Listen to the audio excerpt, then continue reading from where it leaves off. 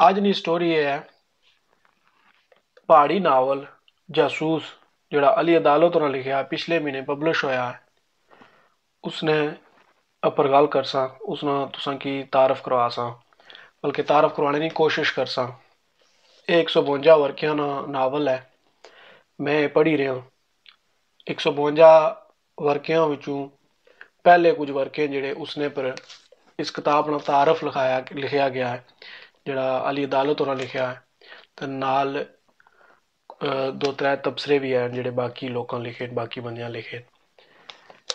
ਯਾਨੀ ਕਿ ਇਹ ਬਹੁ ਥੋੜੇ ਵਰਕਿਆਂ ਵਿੱਚ ਲਿਖਿਆ ਗਿਆ, ਇੱਕ ਨਾਵਲ ਹੈ। ਇਤਨੇ ਘੱਟ ਲਫ਼ਜ਼ਾਂ ਵਿੱਚ ਥੋੜਿਆਂ ਲਫ਼ਜ਼ਾਂ 'ਚ ਕੋਈ ਵੀ ਕਹਾਣੀ ਲਿਖਣਾ ਜਾਂ ਬਾਣਾ, ਇਹ ਬਹੁਤ ਮੁਸ਼ਕਲ ਕੰਮ ਹੋਣਾ ਇਹ ਬਹੁਤ ਬੜਾ ਤਖਲੀਕੀ ਕੰਮ ਹੋਣਾ ਹੈ। ਇਹ ਸਿਰਫ ਕੋਈ ਬਹੁ ਬੜਾ ਮੰਨੇ ਵਾਲਾ ਲਖਾਰੀ, ਕੋਈ ਬਹੁ ਬੜਾ ਤਖਲੀਕੀ ਸਲਾਹਿਤਾਂ ਵਾਲਾ ਲਖਾਰੀ ਕਰੀ ਸਕਣਾ ਹੈ। ਇਹ ਨਾਵਲ ਬਿਲਕੁਲ ਇਸ ਤਰ੍ਹਾਂ ਹੀ ਹੈ, ਜਿਸ ਤਰ੍ਹਾਂ ਦਰਿਆ ਰੁੰਨਾ ਜਾਣਾ ਰੁਕਣਾ ਨਹੀਂ। ਇਹ ਇਸ ਤਰ੍ਹਾਂ ਜਿਲੇ ਇਸकी ਪੜਨਾ ਸ਼ੁਰੂ ਕਰਨੇ ਹੋ, ਤੇ ਇਹ ਇਸ ਤਰ੍ਹਾਂ ਰੁੜ ਨਾ ਜਾਣਾ ਹੈ, ਇਹ ਉਸਾ ਜਗ੍ਹਾ ਰੁਕਣਾ ਨਹੀਂ। ਤੁਸਾਂ ਕੀ ਕਹਾਣੀ ਵਿੱਚ ਕੁਦਰੇ ਵੀ ਕੋਈ ਚੁੱਲ ਨਹੀਂ ਨਜ਼ਰ ਆਸ਼ਨਾ ਕੋਈ ਤੁਸਾਂ ਕੀ ਇਸ ਤਰ੍ਹਾਂ ਨਹੀਂ ਲੱਗਣਾ ਕਿ ਇਹ ਕੀਆਂ ਵਿੱਚ ਆਏਗੀ ਇਹ ਚੀਜ਼? ਇਹ ਤਾਂ ਇਸਨੇ ਨਾਲ ਮਿਲਣੀ ਕੋਣੀ ਕਹਾਣੀ ਵਿੱਚ। ਇਹ ਤਾਂ ਫालतू ਹੋਏਗੀ ਹੈ ਜਾਂ ਕੋਈ ਐਸਾ ਲਫ਼ਜ਼ ਨਹੀਂ ਮਿਲਣਾ ਜਿਹੜਾ ਤੁਸੀਂ ਇਹ ਆਹੋ ਕਿ ਅਗਰ ਇਹ ਨਾ ਵੀ ਲਿਖਿਆ ਹੋਣਾ ਤਾਂ ਇਹ ਨਾਵਲ ਮੁਕੰਮਲ ਹੋ ਜਾਣਾ ਸੀ ਜਾਂ ਜੁਮਲਾ ਮੁਕੰਮਲ ਹੋ ਜਾਣਾ ਸੀ। ਯਾਨੀ ਕਿ ਇਤਨਾ ਕੋਈ ਐਸੀ ਚੀਜ਼ ਇਜ਼ਾਫੀ ਆਈ ਕੋਣੀ। ਤੇ ਲਫ਼ਜ਼ ਇਤਨੇ ਜਾਨਦਾਰ ਕਿ ਜਿਸ ਤਰ੍ਹਾਂ ਹੜਨ ਨਾ ਕਿ ਬਾਜ਼ ਅਲਫਾਜ਼ ਇਤਨੇ ਜਾਨਦਾਰ ਹੋਣੇ ਨੇ ਕਿ ਅਗਰ ਉਹਨਾਂ ਕੀ ਤੁਸੀਂ ਚੱਕੂ ਨਾਲ ਕੱਟੋ ਨਾ ਤਾਂ ਉਸਨੇ ਵਿੱਚੋਂ ਖੂਨ ਨਿਕਲਣਾ।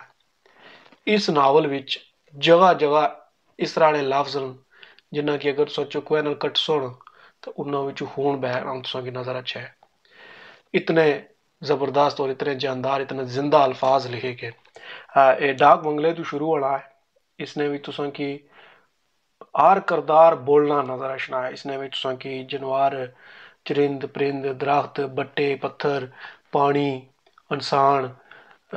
ਆਰ ਚੀਜ਼ ਤੁਸਾਂ ਕੀ ਇਸਨੇ ਵਿੱਚ ਬੋਲਨੀ ਨਜ਼ਰ ਅਸ਼ਨੀ ਡਾਕ ਬੰਗਲੇ ਤੋਂ ਇਹ ਕਹਾਣੀ ਸ਼ੁਰੂ ਹੋਣੀ ਹੈ, ਫਿਰ ਇਹ ਪਤਾ ਲੱਗਣਾ ਕਿ ਜਿਹੜਾ ਕੁੱਤੇ ਵਾਲੀ ਸਰਕਾਰ ਦੀ ਗੱਲ ਕਰਨੇ ਪਤਾ ਲੱਗਣਾ ਕਿ ਅੱਜ ਦੀ ਗੱਲ ਕਰਨੇ ਪਏ। 2 ਸਾਲ ਪਹਿਲੇ ਨਹੀਂ 5 ਸਾਲ ਪਹਿਲੇ ਨਹੀਂ 10 ਸਾਲ ਪਹਿਲੇ ਨਹੀਂ। ਲੇਕਿਨ ਉਸ ਵੇਲੇ ਇਹ ਮੁੜੀ ਸਦੀਆਂ ਪਿੱਛੇ ਲੈ ਜਾਣੇ ਤੇ ਜਿਸਲਾ ਸਦੀਆਂ ਪਿੱਛੇ ਜਾਣੇ ਨਾ ਤਾਂ ਕੋਈ ਅਹਿਸਾਸ ਨਹੀਂ ਹੋਣਾ ਕਿ ਇਹ ਇਹ ਕੀ ਹੋਇਆ? ਬਈ, ਅੱਜ ਦੀ ਗੱਲ ਕਰਨੇ ਇਤਨੇ ਪਿੱਛੇ ਕਿਸਾ ਚਲੇ ਗਏ? ਜਿਸ ਤਰ੍ਹਾਂ ਤੁਸੀਂ ਕੋਈ ਫਿਲਮ ਤੱਕਣੇ ਹੋ ਜਾਂ ਮੂਵੀ ਤੱਕਣੇ ਹੋ ਨਾ ते एडिटर इतने सलीके नाल एडिट करने न उसकी कि जिसलै वीडियो च घट्ट लगना ना तकने आह्ली कोई एहसास नहीं होना कि एह् पैह्ले इत्थै फुटेज बनदी उसी ते हून एह् कुद्धर चली गेई ऐ इस तरह इस नावल बिच बी तुसां की कोई पता नहीं लग्गना ते एह् इक दफा रारा दी गल्ल करने होने इक दफा पारा दी गल्ल करने होने इक दफा इंसानां दी गल्ल करने इक दफा जानवरां दी गल्ल करने ਇਸ ਨਾਵਲ ਵਿੱਚ ਜਿਸ ਜਿੱਥੇ ਜਿੱਥੇ ਜਿਹੜੀ ਜਿਹੜੀ ਗੱਲ ਹੋਣੀ ਹੈ ਨਾ, ਉਹ ਮੰਜ਼ਰ ਤੁਹਾਡੇ ਸਾਹਮਣੇ ਘੁੰਮਣਾ ਹੋਣਾ ਹੈ। ਨਾਵਲ ਵਿੱਚ ਅਲੀ ਅਦਾਲਤ ਔਰ ਮੀਆਂ ਮੁਹੰਮਦ ਬਾਖਸ਼ੋਰ ਨੇ ਬਹੁਤ ਸਾਰੇ ਸ਼ੇਰ ਵੀ ਕੋਟ ਕੀਤੇ ਮੌਕੇ ਮੌਕੇ ਦੀ ਮناسبت ਨਾਲ।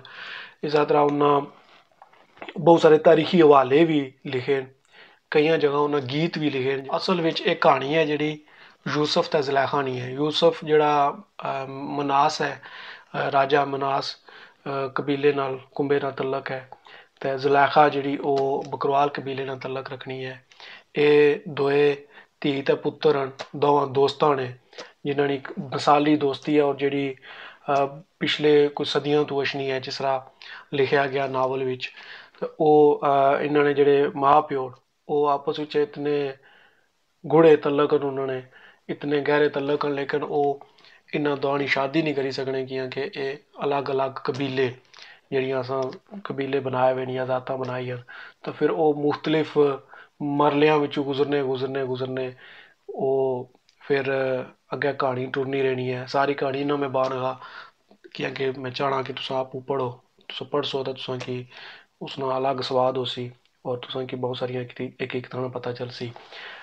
ਇਸਨੇ ਵਿੱਚ ਮੱਖਣਾ ਦਾ ਵੀ ਜ਼ਿਕਰ ਹੈ। ਮੱਖਣਾ ਇੱਕ ਬੁਨਿਆਦੀ ਕਿਰਦਾਰ ਹੈ ਇਸਨੇ ਵਿੱਚ ਜਿਸਨੇ ਕਾਰਨਾਮੇ ਤੋਂ ਪੜ ਸੋ ਤਾਂ ਤੁਸੀਂ ਕਿ ਪਤਾ ਚੱਲ ਸੀ। ਇਸ ਤਰ੍ਹਾਂ ਇਸ ਨੇ ਵਿੱਚ ਮੁਜਾਹਿਦਾਂ ਦਾ ਵੀ ਜ਼ਿਕਰ ਹੈ, ਇਸ ਨੇ ਵਿੱਚ ਫੌਜੀਆਂ ਦਾ ਵੀ ਜ਼ਿਕਰ ਹੈ, ਇਸ ਨੇ ਵਿੱਚ ਜਿਹੜੇ ਸਿਆਸੀ ਲੀਡਰ ਹਨ, ਉਹਨਾਂ ਦਾ ਵੀ ਜ਼ਿਕਰ ਹੈ। ਮੁੱਕੜੀ ਗੱਲ ਇਸ ਰਾਇ ਕਿ ਜਿਹੜਾ ਬੰਡ ਹੋਣੀ ਹੈ ਤੇ ਫਿਰ ਬੰਡ ਤੋਂ ਬਾਅਦ ਕੁਝ ਉਧਰ ਲੋਕ ਰਹੇ ਜਾਣੇ, ਕੁਝ ਇੱਧਰ ਰਹੇ ਜਾਣੇ ਇਸ ਤਰ੍ਹਾਂ ਜ਼ੁਲੈਖਾਂ ਤੇ ਯੂਸਫ ਹੀ ਵਿਛੜੀ ਜਾਣੇ। ਯੂਸਫ ਰਾਰ ਉਠੀਸ਼ਨਾ ਜ਼ੁਲੈਖਾਂ ਪਾਰ ਰਹੀ ਜਣੀ ਹੈ, ਫਿਰ ਉਹ ਵੀ ਤੜਕਣੇ ਤੁੜਕਣੇ ਰਾਰ ਚੜਨੇ तो रार स्लेचर ने दोनों ही पहले उसकी पहले मुजाहिद पौड़ने ते फिर फौजी पौड़ने तो फिर उसकी डाक बंगला जिसने शुरू ज़िक्र इच्छना है, उसने बिच खड़े जाना है। तो यूसुफ उसकी जल्द खड़े जाना है कैंपे बिच जाना है तक्कने वास्ते क्योंकि वो इंतज़ार करना रहना है कि किल्लै उसकी खबर लब्भै कि जलैखा भी रार पहुँची आई है तो वो उसकी मिला जाए कि अपनी मोहब्बत की, अपनी उस खोई हुई मोहब्बत की जिसने नो बचपन तू ਰਹਿਣਾ ਰਿਹਾ ਹੈ, ਉਸਨੇ ਨਾਲ ਗਠਿਆ ਖੇਡਣਾ ਰਿਹਾ ਹੈ ਔਰ ਉਸਨੇ ਨਾਲ ਚਾਹਣਾ ਸੀ ਕਿ ਮੈਂ ਸ਼ਾਦੀ ਕਰਾਂ। ਉਹ ਜਿਸਲੇ ਉੱਥੇ ਜਾਣਾ ਹੈ, ਤੇ ਫਿਰ ਉਹ ਗੱਲ ਆਖਰ ਪਰ ਖਤਮ ਇਸ ਤਰ੍ਹਾਂ ਹੋਣੀ ਹੈ ਕਿ ਉਹ ਤੱਕਿਆਂ ਬਗੈਰ ਆਖਣੀ ਹੈ ਕਿ ਅਸਾਂ ਜਿਸਲੇ ਪਾਰ ਹੋਣੇ ਆ ਤਾਂ ਅਸਾਂ ਕੀ ਆਣੇ ਤੁਸੀਂ ਪਾਕਿਸਤਾਨੀ ਜਾਸੂਸ ਹੋ। ਤੇ ਜਿਸਲੇ ਅਸਾਂ ਰਾਹ ਰਸ਼ਨੇ ਆ ਤਾਂ ਤੁਸੀਂ ਆਣੇ ਹੋ, ਤੁਸੀਂ ਹਿੰਦੁਸਤਾਨੀ ਜਾਸੂਸ ਹੋ। ਤਾਂ ਫਿਰ ਉਹ ਤਫਤੀਸ਼ ਵਾਸਤੇ ਤਿਆਰ ਹੋਈ ਜਾਏ ਕਿ ਫੱਟੇ ਪਰ ਲੇਟੀ ਰਹਿਣੀ ਹੈ। ਇੱਥੇ ਜਾਈ ਕੇ ਗੱਲ ਖਤਮ ਹੋ ਜਾਣੀ